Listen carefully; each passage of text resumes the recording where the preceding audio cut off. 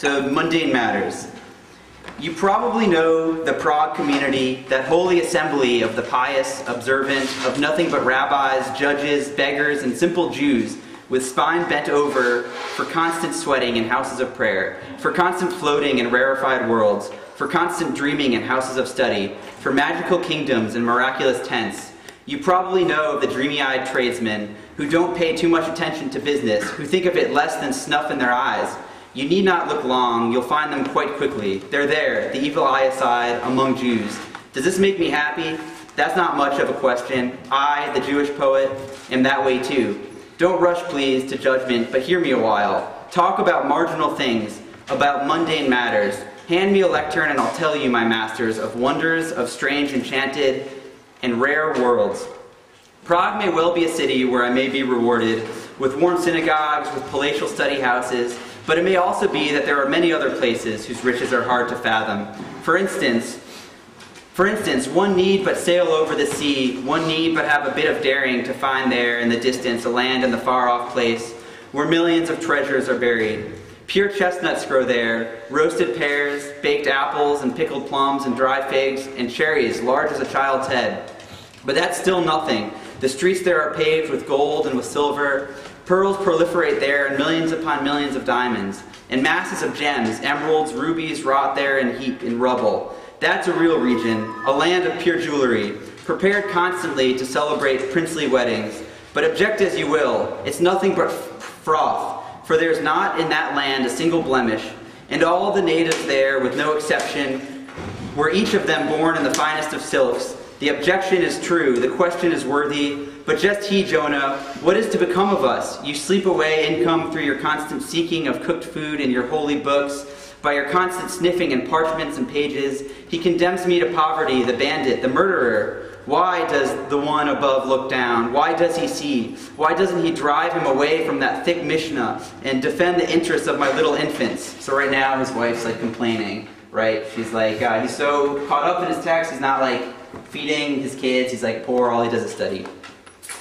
Um, he condemns me to poverty, the bandit, the murderer. Why does the one above look down? Why does he see? Why doesn't he see? Um, why doesn't Why doesn't he?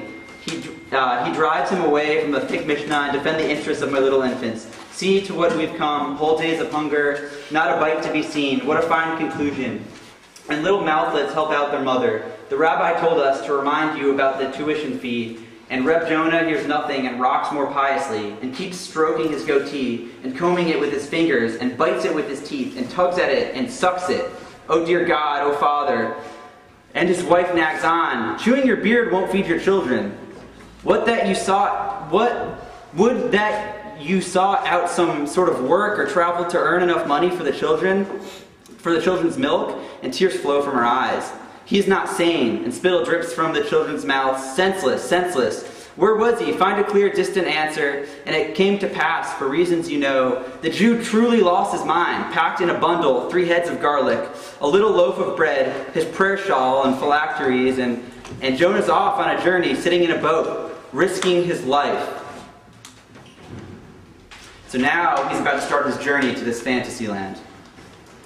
The sea has its thousands of separate feelings its will and its habits, the miracle happened to Jonah because of his Zohar, bound in the skin of non kosher sheep.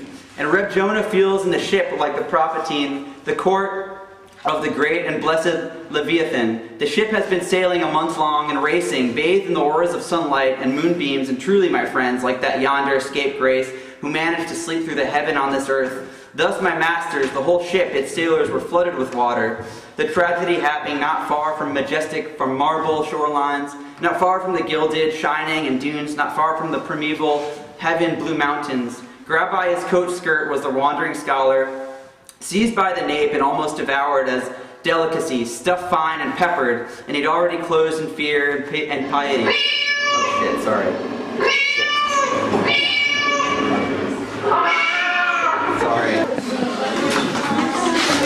Sorry. Sorry, sorry.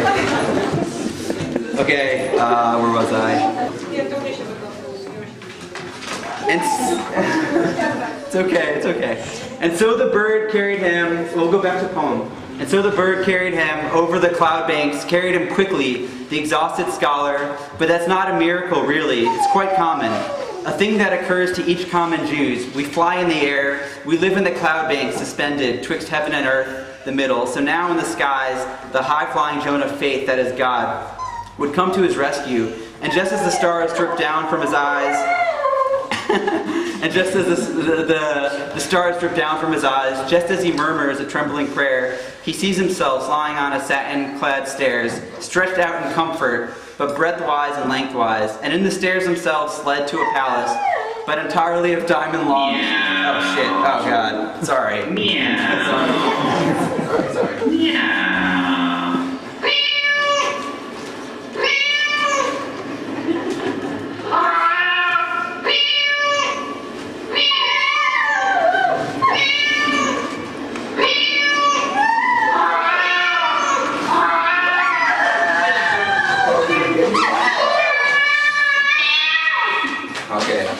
Sorry. sorry. Uh, feel bad for him. Um, they're not real, they're not real. and need I tell you more? Oh, where was I? Okay. And suddenly, he hears a silver whisper. He hears a silver whisper. Uh, who are you, you stranger, you brash one? So now he's in the land and he's met this princess, okay? Uh, who are you? And this is her speaking to him. Ah, oh, shit. God damn it. Uh, shit. What am I doing now? Um, oh, right here. Okay. Sorry.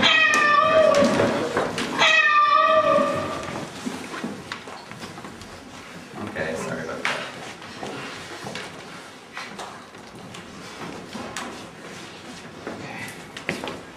Okay, um, okay, so we're talking about the princess.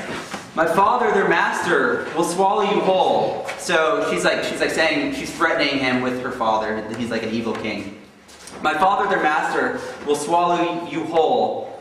Um, uh, uh, God damn it. Okay, sorry.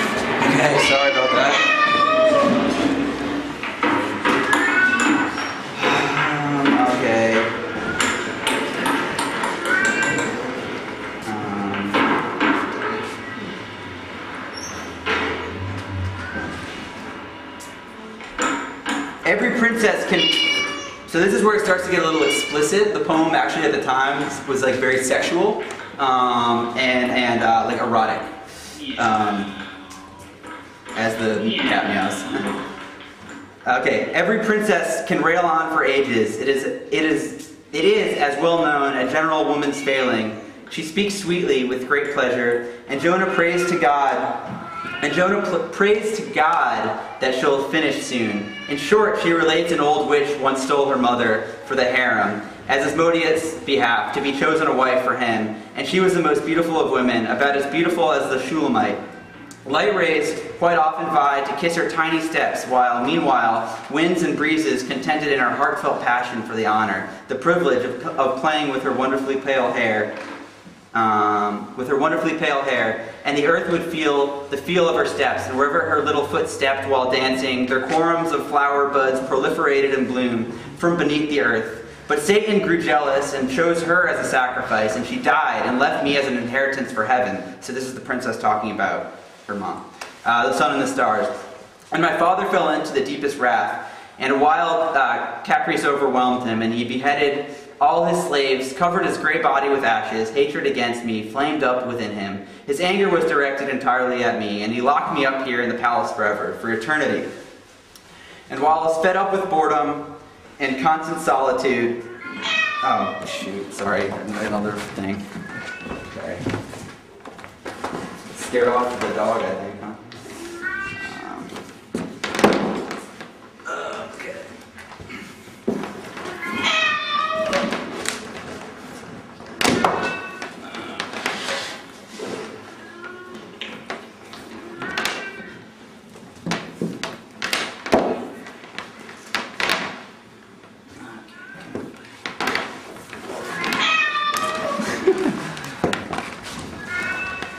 Thank you. Sorry. Perfect.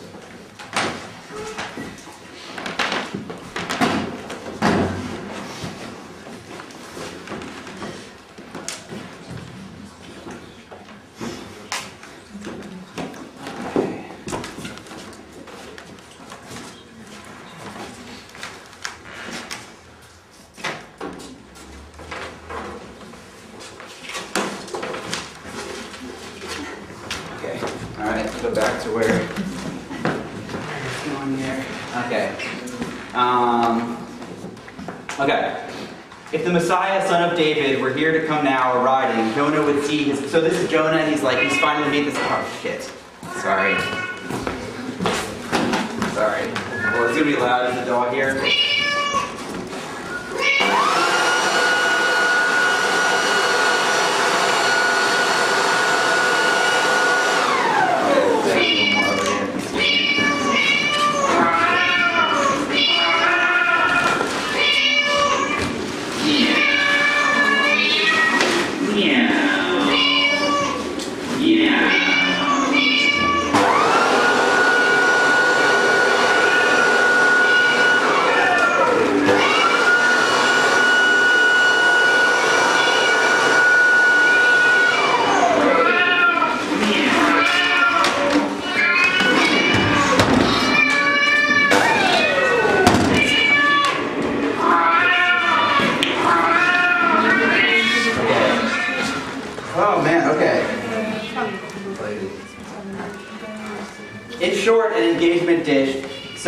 So, now the the um, the Jonah, the hero, and uh, the princess, they decide to get married, and they want to have this crazy engagement party.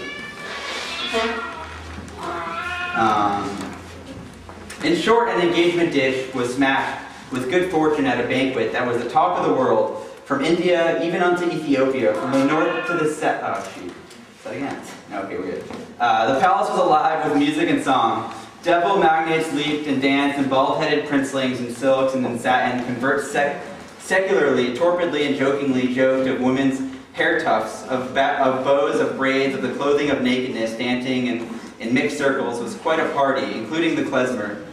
It was quite a feast and engagement party. The bridegroom was liquored up, happy. The bridegroom had eyes astounding by whiskey and wine, uh, as Ahasuerus of old. The bride had the appearance of Vashti. The wedding banquet lasted a week. For a week, the lower paradise danced, and Jonah rejoiced and lacked time even to think. And three more weeks their love, love endured that flaming, terribly marvelous love. The young couple forgot all cares until finally sad days arrived. The reason for this was a simple reason. Sadness overcame them. Eating too much, mar- oh, this is my favorite line of the whole poem. Eating too much marzipan can ma- make one sick of eating mar- of eating marzipan. Um, so that eating too much marzipan can make one sick of eating marzipan. Um, sadness tediously. Oh, okay. Sorry.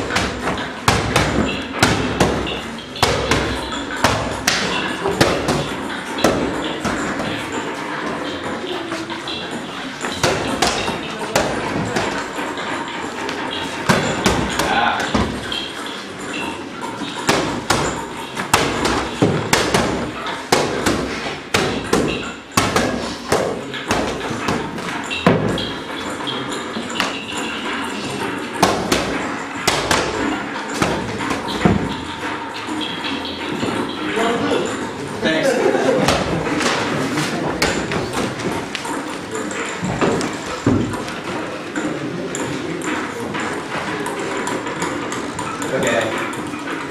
All right, guys. I know this is an epic poem, so it's almost over. Um, okay. It's hard. Okay. Once Reb Jonah dreamt that he had come to Prague as a traveler and that he was. So this is him. He's been in this land. He's been partying. He's had this amazing time, and now he's starting to miss his home. He's starting to miss Prague. Um, once Reb Jonah dreamt that he had come to Prague as a traveler and that he was in synagogue and had repented. And he's supported by boy baritones and by two little screamers, both his sons. And he sobs sweetly in great joy. He sees himself in his home, and the candlesticks gleam. And Jonah, for his part, had not forgotten the homey streets of the Prague ghetto, his wife and his children, the warm study houses. He was sick unto death of the bunch with the horns. He pined for his dream, for his pre-dreamed soul, for singing leaders of prayer, preachers and studiers. Once in the desert, the wandering Jews pined terribly for the fish of Egypt. It's hard, dear Jews. It's hard, dear Jews. Take this for examples to satisfy an ordinary Jew with Sabbath candles on the table, with fish and the egg bread, as he sinks happily into the house and calls out loudly, Peace be unto you, and rubs his hand and glances at the bowl where there now lies congealed a heavenly dish of shimmering, transparent calf's foot jelly. And as he dreams, he converses in his dream, and he feels the taste of the carrot pudding, smells its aroma. The princess begins to slow, slowly, slowly to take Reb Jonah from his lovely dream. So he's dreaming, and she's waking him up.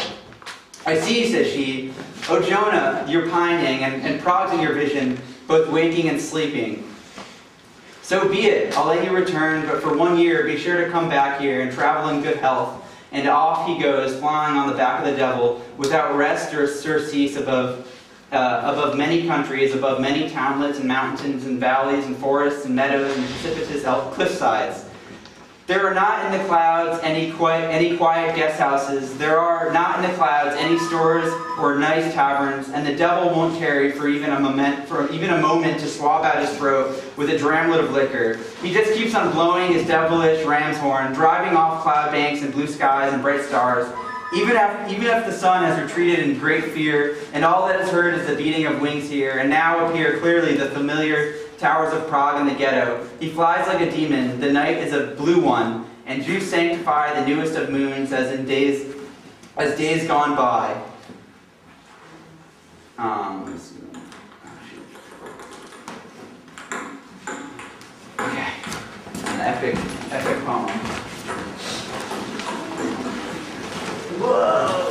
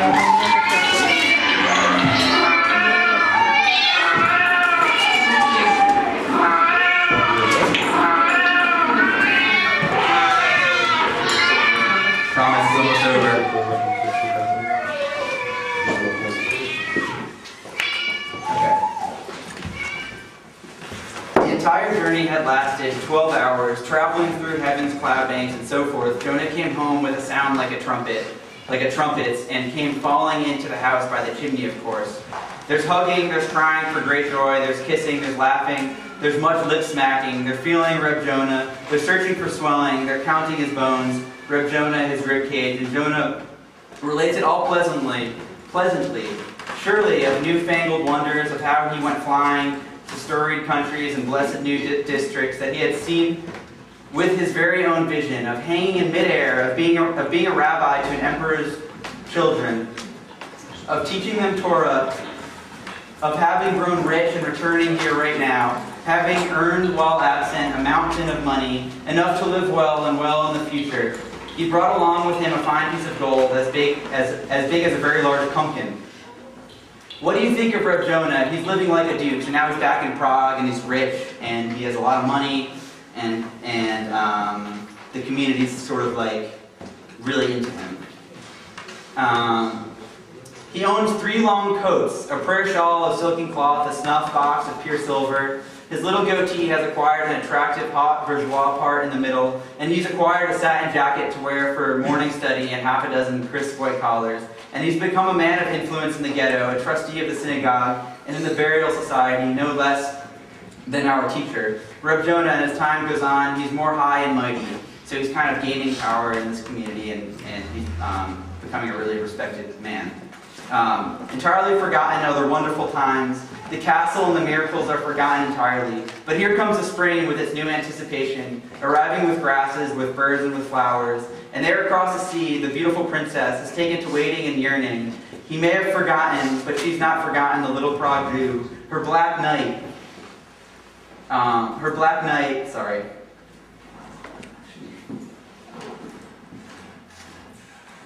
Impatiently, she stares outdoors through the window and angrily tears, tears the calendar pages. A year has passed, the time has come, so now she wants him to come back. And we're almost done. We've got one more stanza here. Right, we go. One more stanza.